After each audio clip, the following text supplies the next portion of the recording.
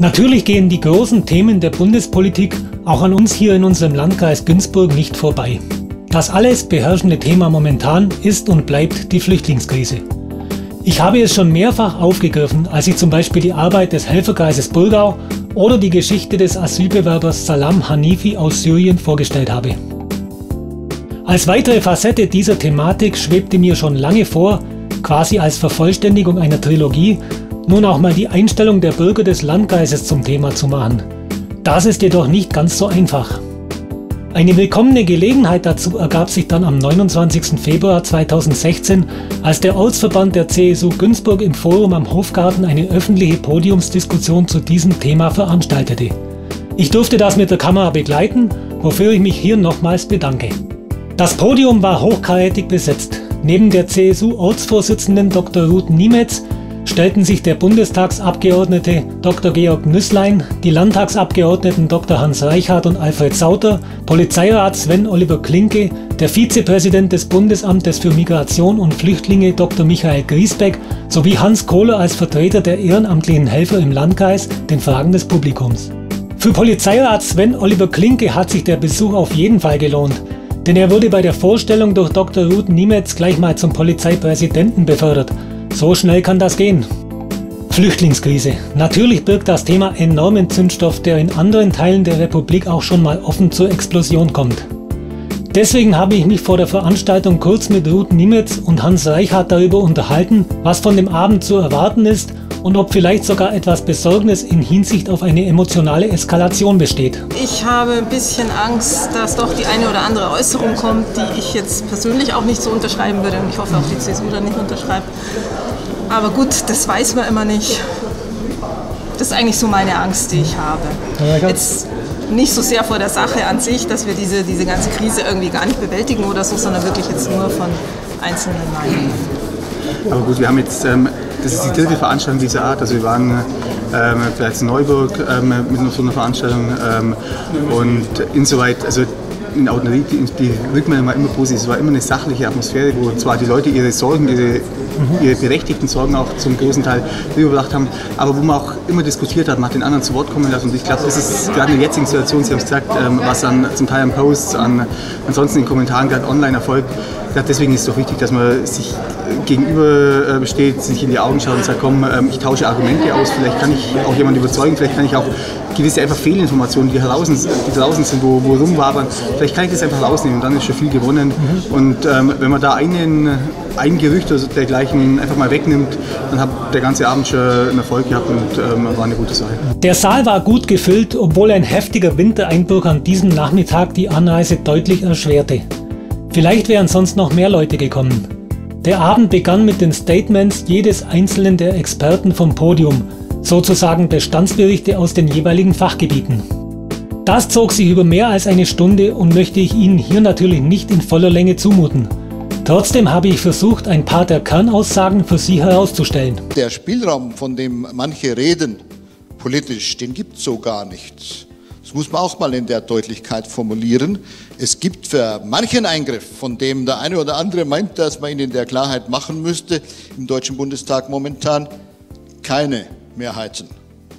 Das heißt nun nicht, dass da nichts passieren wird, sondern das heißt nun, dass äh, die Bundeskanzlerin recht hat mit dem Ansatz, lass uns erstmal den Versuch unternehmen, ob wir das Thema nicht europäisch klären können. Wir hatten also 2007 noch äh, 20.000 Anträge gehabt. Wir haben dann ähm, 2010 48.000 Anträge gehabt und haben 2015, ich habe es gerade schon gesagt, ähm, über 450.000 gehabt. Das heißt, wir haben hier eine Verzehnfachung. Ähm, bei den Erstanträgen waren es 41.000 und jetzt 441.000. Was das bedeutet, das können Sie sich vorstellen. Man kommt nicht hinterher, man kommt beim Personal nicht hinterher, man kommt bei den Liegenschaften nicht hinterher. Ähm, das äh, trifft auf äh, jede Kommune zu, das trifft auf das Land zu. Ähm, was für die Unterbringung zuständig ist, das trifft auf den Bund zu der fürs Verfahren zuständig ist. Wir versuchen den Menschen mit dem Tannhauser Modell die deutsche Sprache beizubringen. Das ist ein niederschwelliges äh, deutsches Programm, wo wir quasi jetzt in Englisch, in Französisch, in Eritreisch und in Arabisch aufgelegt haben. Wenn jemand Interesse hat im Internet, kann er da nachblättern. Äh, dann vor allen Dingen wollten wir den Menschen beibringen, Gleichstellung von Mann und Frau. Gewalt ist eine Straftat und wir äh, schalten bei so, bei so Vorfällen sofort die Polizei ein. Wir hatten im Januar diesen Jahres, 2016, im Landkreis Günzburg insgesamt alle Einsätze, die die Polizei zu bewältigen hatte, 662 Einsätze. Von diesen 662 Einsätzen waren gerade mal, und ich sage ganz bewusst gerade mal 30 mit Bezug zum Thema Asyl. Natürlich sind bei diesen 30 äh, Einsätzen auch einmal schwerere Straftaten dabei. Aber ganz oft sind es auch ganz banale Sachen wie Ruhestörungen, wie einmal ein angebranntes Essen in der Küche. Das ist also ganz bunt gemischt. Und ich möchte nur zwei, drei Fakten zu diesen Einsätzen nennen und zu den Straftaten, die äh, so passieren. Der aller, allergrößte Anteil der Straftaten, die passieren, passieren im zwischenmenschlichen Bereich, unter Asylbewerbern und in den Unterkünften. Wir waren als Freistaat Bayern noch in den nächsten zwei Monaten das erste Bundesland sein, das ein eigenes Integrationsgesetz verabschiedet. Integrationsgesetz heißt bei uns aber nicht nur, dass wir sagen, hey, ähm, wir fordern alles Mögliche von den Leuten. Das machen wir auch, aber wir fördern auch dementsprechend. Wir werden die Deutschkurse massiv ausbauen und da werden wir auch die Unterstützung des BAMF brauchen. Das BAMF hat ja ähm, über die Jahres- ähm, oder Bundesagentur für Arbeit zusammen mit dem BAMF über den Jahreswechsel hinweg, glaube ich, 200.000 Deutschkurse in Deutschland gefordert und auch die werden wir nochmal brauchen, da brauchen wir eine Verlängerung dieser Maßnahmen. Denn unser Ziel muss es sein, ich kann nur dann mit jemandem kommunizieren, wenn ich die Sprache kann. Ich kann nur dann wo ankommen, ganz egal wie lange. Ob ich jetzt vier Monate da bin oder vier, fünf Jahre da bin. Ich muss die Sprache können, um mit jemandem zu reden. Und deswegen ist es unser Anliegen. Aber ich habe gesagt, wir fördern nicht nur bei den Sprachen, wir fordern auch. Und ähm, deswegen werden wir auch in Bayern zum ersten Mal unser Menschenbild ähm, definieren, unser Leit, unsere Leitkultur definieren, als eine Leitkultur, die sowohl auf dem christlich-jüdisch-abendländischen beruht, aber auch einfach unsere Werte mit aufgreift. Dann kam der zweite Teil, für mich das eigentlich Interessante. Fragen aus dem Publikum. Da war ich natürlich sehr gespannt, ob konkrete Probleme angesprochen würden, die direkt unseren Landkreis betreffen. Um es gleich vorwegzunehmen, nein. Der überwiegende Teil der Publikumsbeiträge betraf eher das große Ganze. Können wir eigentlich froh sein, denn das deutet darauf hin, dass das Thema im Landkreis zwar angekommen ist, aber bisher nicht als großes Problem bewertet wird. So verlief die sogenannte Fragerunde recht entspannt. Wer etwas zu sagen hatte, tat das ruhig und zivilisiert. Auffällig war für mich jedoch, dass konkrete Fragen oft nur Beiwerk waren. Von den Bürgern, die sich zu Wort meldeten, hatten viele eher das Bedürfnis, sich mitzuteilen und ihre Sicht der Dinge darzulegen. Aber auch das ist eine wichtige Komponente des Austausches zwischen Volk und Volksvertretern, wie Dr. Hans Reichhardt in der Nachbetrachtung des Abends nochmal betonte. Es ist einfach wichtig, dass man auch einen Meinungsaustausch äh, macht. Der ist für die Leute wichtig, dass sie unsere Meinung sehen, aber auch für uns wichtig, weil ich glaube, jeder, der alte Zauder, der Georg Nüsslein, ähm, wir alle, wir nehmen aus diesen Veranstaltungen sehr, sehr viel mit, einfach auch an Meinungen, an Stimmungen und das beeinflusst natürlich auch unsere Arbeit in München, in Berlin äh, und ähm, einfach in den entsprechenden Gremien.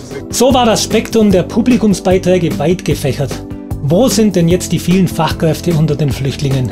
Wie überbrückt man die Sprachbarrieren nachhaltig? Kann man die Teilnahme an Integrationskursen zur Verpflichtung machen? Themen waren aber auch die Silvesternacht in Köln, der Fall eines seit fünf Jahren schwebenden Asylverfahrens und die Bekämpfung der Fluchtursachen.